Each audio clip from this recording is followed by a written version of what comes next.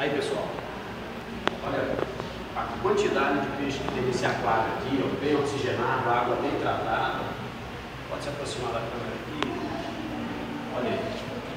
Show de bola, não? Olha lá que lindo esses peixes. Peixes aí de 6 a 10 quilos, tá? Peixe de 6 a 10 quilos. Você vai vendo aí, olha que lindo, muito lindo mesmo. Tem muitos peixes mesmo aqui, ó. Olha aí.